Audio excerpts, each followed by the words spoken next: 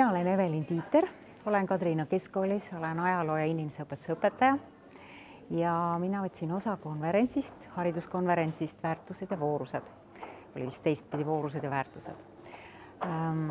täna oli päris pikk päev ja äh, see konverents äh, pani mõtlema hästi paljude äh, küsimuste üle, mis tegelikult meid koolielus äh, puudutavad vooruste üle võib-olla pisut vähem oleme rääkinud, aga väärtused on küll. näiteks meil Kadrina keskkoolis on väärtuste puu. ja kui me oleme teinud mõned aastad tagasi paberil, siis eelmisel aastal me tegime ta lausa seina peale. nii et see väärtuste puu on meie koolis hästi äh, populaarne ja kõik räägivad sellest. Ähm, mul oli hea ja kinnitav kuulda, et äh, äh, me oleme koolis sellele väärtuste teemale nii-öelda nagu äh, päris äh, tõsiselt äh, saba peale astunud, kui nii võib väljendada. ja mul on hea meel, et me räägime seda mitte ainult pedagoogidega omavahel, vaid ka õpilastega.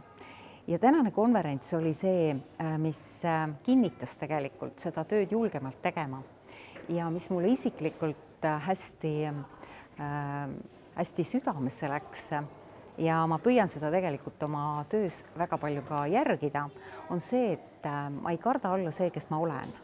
et ma väärtustan seda, kes ma olen ja ma annan äh, selgelt sõnumi, äh, kes ma olen ja mida ma elan.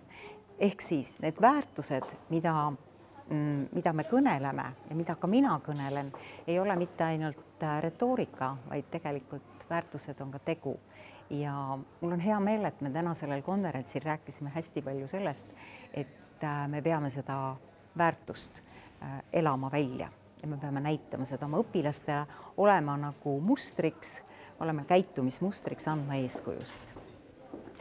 Äh, mul hästi hea meel kõikide, kõikide esinejate üle, kes olid tõeliselt innustavad ja ma kirjutasin hästi palju üles mõtteid, nii et tegelikult ma peaksin nende üle ja ma kindlasti mõtlen nende üle veel päris mitu päeva ja loen oma märkmeid. aga jõudu kõikidele tegijatele, et selliseid konverentse on meile väga vaja.